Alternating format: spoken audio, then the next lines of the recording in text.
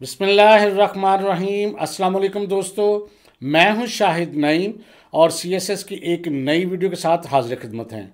दोस्तों, हम हर वीडियो के शुरू में एक क्वेश्चन पूछते हैं, जिसका ताल्लुक गुज्त वीडियोज़ के साथ होता है।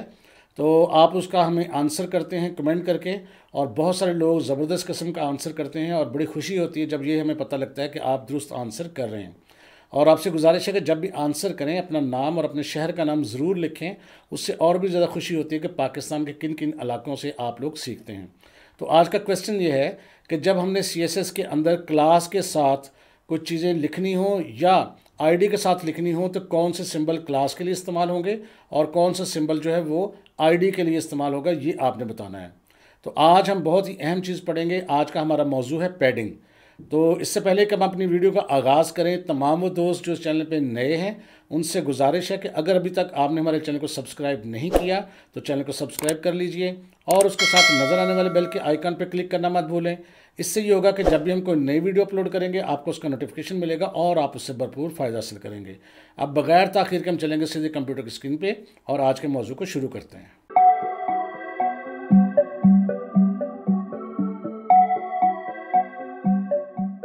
तो दोस्तों, अब हम देखेंगे कि पैडिंग क्या होती है।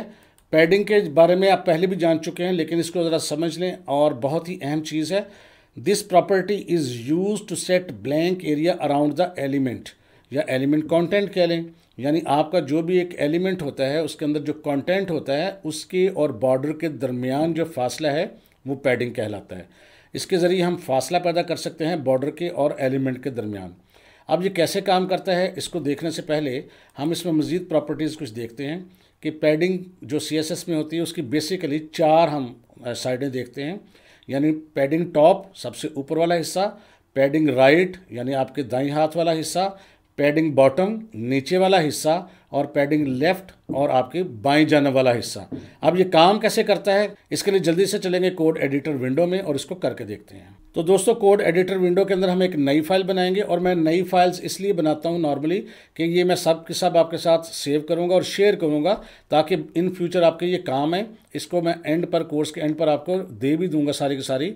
तो यहाँ पर ये देखिएगा न्यू फ़ाइल पे क्लिक कर दिया और यहाँ हमने इसका नाम रख दिया पैडिंग नाम भी मैं मिलता जुलता ही रख रहा हूँ एच टी एम एल और एंटर प्रेस किया। अब यहाँ पर साइन ऑफ़ एक्सक्लेमेशन के ज़रिए हम दे देंगे बॉयलर प्लेट कोड आपके सामने है टाइटल दे देंगे जल्दी से और टाइटल में हम दे देते हैं पैडिंग उसके बाद बॉडी के अंदर हम जल्दी से आके एक काम करते हैं, यहाँ लिखते हैं डिव और एंटर प्रेस करते हैं और इसके अंदर लिख देता हूँ माई बॉक्स बस ये मैंने लिखा है कंट्रोल एस किया। अभी हम देखते हैं स्क्रीन पर इसका रिज़ल्ट क्या आता है। देखिए सिंपल से एक टेक्स्ट आया है, इसमें किसी किस्म की कोई भी चीज़ नहीं है। अब जल्दी से इसके लिए एक सीएसएस की फ़ाइल बनाते हैं, उसके लिए भी न्यू फ़ाइल करते हैं और इसका नाम रख देते हैं padding dot C S S और एंटर करते हैं। सबसे पहले मैं इसका लिंक बनाऊँगा ताकि भूल ना जाए हम लोग। टाइटल के नीचे एंटर करके हम यहाँ लिखेंगे लिंक और एंटर प्रेस कर देंगे और एच आर ई एफ़ में लिख देंगे padding dot C S S और इसको कर देंगे हम सेव। उसके बाद हम जाएँगे सी एस एस की विंडो के अंदर और यहाँ पर हम लिखते हैं डिव और ब्रैकेट शुरू और ब्रैकेट बंद। यहाँ इसके अंदर लिखते हैं जी हाइट और विड्थ लिखते हैं। हम लिखते हैं हाइट। हाइट हम दे देते हैं, फ़र्ज़ करते हैं 200 पिक्सल्स और उसके बाद हम दे देते हैं कंट्रोल एंटर प्रेस करके विड्थ और इसको भी हम दे देते हैं 200 पिक्सल्स। उसके बाद हम दे देते हैं जी बैक कलर और बैक कलर हम यहाँ पर दे देते हैं ऑरेंज। और इसके अंदर बॉर्डर भी दे देते हैं ताकि आपको नज़र आता रहे। Border five pixels solid black control S करते हैं रिज़ल्ट देखते हैं। अब देखें जी, ये एक आपके सामने डिव मौजूद है। इसकी हाइट भी 200 पिक्सल्स है विथ भी 200 पिक्सल्स है और इसके अंदर माई बॉक्स लिखा हुआ है। अब इसके अंदर देखें, जो माई बॉक्स लिखा हुआ है, वो बिल्कुल एजेस के साथ जुड़ा हुआ है। यानी बिल्कुल आपके लेफ़्ट साइड पे बॉर्डर के साथ जुड़ा हुआ है। तो फासला कोई है ही नहीं। अब अगर हम इसको इंस्पेक्ट करें तो देखते हैं कि कितना उसके साथ पैडिंग है। राइट क्लिक करते हैं और इंस्पेक्ट करते हैं। इंस्पेक्ट विंडो में सबसे टॉप पे क्लिक करके हम इसके ऊपर जब क्लिक करते हैं तो ये देखें बॉक्स भी आपके सामने आ जाता है। और बॉक्स में ये देखें ब्लू कलर में लिखा हुआ है। 200 हंड्रेड बाई टू हंड्रेड इसका मतलब इसका content area two hundred by two hundred है, और पैडिंग जो ग्रीन सा कलर है, उसमें नज़र आ रही है आपको, और बॉर्डर में देखें, चारों तरफ़ फाइव फाइव लिखा हुआ इसका मतलब फाइव पिक्सल का इसका बॉर्डर है बॉर्डर में ज़रा मोटा इसलिए लिखा कि आपको नज़र आता रहे, और पैडिंग बिल्कुल इसकी ज़ीरो है। अब इसको हम चेंज करते हैं। अच्छा ये कलर्स आप किसी डिफरेंट अगर ब्राउज़र में यूज़ कर रहे होंगे तो डिफरेंट हो सकते हैं, इसलिए परेशान होने की ज़रूरत नहीं है, लेकिन ये बॉक्स आपको दिखाता है कि आप किस किस्म का काम कर रहे हैं और यहाँ ऊपर आपको कोडिंग भी साथ नज़र आ रही होती है। इसमें थोड़ी तब्दीली करते हैं जी। अब अगर हम यहाँ लिखते हैं जी पैडिंग लेफ़्ट और पैडिंग लेफ़्ट को सिलेक्ट करके अगर हम लिख देते हैं, फ़र्ज़ करते हैं ट्वेंटी पिक्सल्स और मैं इसको सेव करता हूँ। आप ज़रा चेक करते हैं। अब देखें जी अब आपका जो लिखा हुआ था ना माई बॉक्स वो थोड़ा सा लेफ़्ट साइड से हट गया बॉर्डर के साथ नहीं है, हट चुका है।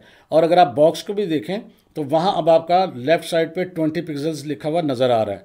तो इसको हम चेंज करते हैं, मज़ीद। अब यहाँ मैं लिखता हूँ जी पैडिंग और टॉप फ़र्ज़ करें पैडिंग टॉप मैं करता हूँ जी फिफ्टी पिक्सल्स और 50 पिक्सल्स में लिख के सेव करता हूँ कंट्रोल एस चेक करते हैं। अब देखें, ऊपर से ये काफ़ी नीचे की तरफ़ आ चुका है। अगर आप बॉक्स को भी अब चेक करें तो वहाँ पर आपको ये 50 नज़र आएगा। आपके टॉप पे और लेफ़्ट साइड पे भी 20 नज़र आ रहा है। मज़ीद तब्दीलियाँ करते हैं जी। इसी तरह, अगर मैं यहाँ पर पैडिंग राइट कर देता हूँ, और राइट से इसे मैं 20 पिक्सल दे देता हूँ, और इसी तरह पैडिंग बॉटम कर देता हूँ, और पैडिंग बॉटम में 50 पिक्सल दे देता हूँ तो अब हम देखते हैं क्या रिज़ल्ट आता है। ये देखें बाहर तो आपको वाजह को नज़र नहीं आ रहा, लेकिन जब हम इसको इंस्पेक्ट करेंगे तो आपको अच्छे से इसका रिज़ल्ट नज़र आएगा। ये देखें, इसमें अब ये जो आपको बॉक्स नज़र आ रहा है ब्लू सा, ये इसका कंटेंट एरिया है, जो ऊपर से भी देखें, पचास करेक्टर्स जो हैं, पचास पिक्सल्स हैं सॉरी वो खाली है। तो इसका मतलब है ये इसका पैडिंग है, और अगर आप बॉक्स में देखें तो टॉप पे 50 राइट पे और लेफ़्ट पे 20 20 और बॉटम पे भी 20 है तो इस तरह आप इसको कहीं पर भी एडजस्ट कर सकते हैं। अगर इसको मज़ीद हम थोड़ा सा नीचे और सेंटर में लेके आना चाहेंगे इस टेक्स्ट को तो हम क्या करेंगे? ये देखिएगा, यहाँ पर इंस्पेक्ट बॉक्स में मैं आपको करके दिखा देता हूँ ताकि आपको समझ आ जाए।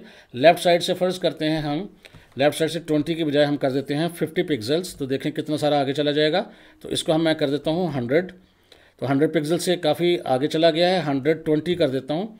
और टॉप को मैं यहाँ से फ़र्ज़ करते हैं, टॉप का जो है उसको मैं कर देता हूँ हंड्रेड। और यहाँ पर ये देखें तो ये देखें टॉप से हंड्रेड आ गया। अगर हंड्रेड ट्वेंटी कर देते हैं या हंड्रेड फिफ्टी कर देते हैं तो ये देखें काफ़ी हद तक उसका यहाँ सेंटर इस तरह निकालते नहीं हैं, लेकिन मैंने आपको सिखाया है कि अगर आप इसको इंस्पेक्ट के ज़रिए देखेंगे तो आप देखें, आपका टॉप से भी वो तकरीबन 150 बहुत ज़्यादा फासला है। लेफ़्ट साइड से 130 काफ़ी फासला नज़र आ रहा है, ये जो ग्रीन सा आपको नज़र आ रहा है। लेकिन अगर आप उसको राइट साइड से देखें तो सिर्फ़ 20 पिक्सल्स नज़र आ रहा है और बॉटम से देखें तो 50 पिक्सल्स नज़र आ रहा है। और ये बॉक्स आपको सारा कुछ शो कर रहा है कि आपका जो एलिमेंट है वो किस पोजिशन में है। अच्छा जी, इसका मज़ीद कुछ चीज़ें देखते हैं। पैडिंग का इस तरह एक शॉर्टकट भी होता है। शॉर्टकट कैसे, वो भी मैं आपको दिखाता हूँ। आप सिर्फ़ लिखें पैडिंग 25 या पैडिंग 50 पिक्सल्स उससे क्या होगा?